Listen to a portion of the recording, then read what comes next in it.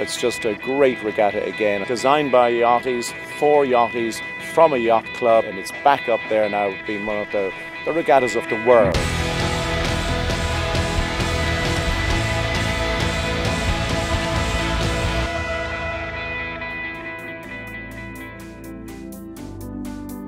We have two headline acts for you in our story today. Steel Pulse, which rocked the island in a Nelson's dockyard set that had everyone buzzing, and a foiling racer cruising cat, which is a direct ripple of America's Cup technology and influence out into the wider world of sailing.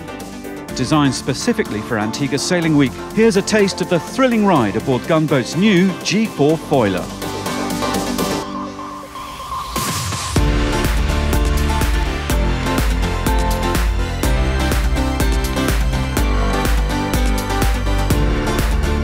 G4 Timbalero is owned by Eduardo Perez, a three-time winner of Antigua Sailing Week and crewed by friends and a few hotshots. Gunboat's Peter Johnstone and America's Cup winning crewman Shannon Falcone of Antigua tell us more about the boat, the ride, and that incredible shakedown capsize in St. Bart's. We pushed the hell out of the boat. That was a 30 knot run. Whew.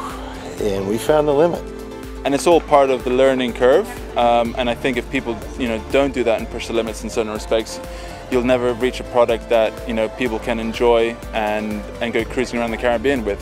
First off, you're going upwind, and we're doing somewhere between 12 and 15 knots upwind on a 40 footer. That's ridiculous. It's really quick, and you're sailing past TP52s like they're standing still.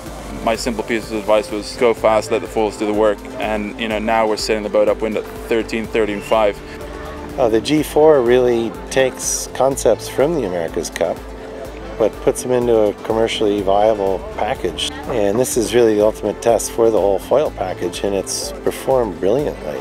I think it's really been a pleasant surprise that you don't need flat water to foil. You can foil in anything if your configuration is right. In the Cup, we have a lot of smart minds, and I hope to impart just a small percentage of that to these guys so that you know they can sail the boat safer, faster, and have more fun. For the rest of the fleet on race day three, the wind kicked in again to provide another perfect day's racing off Antigua.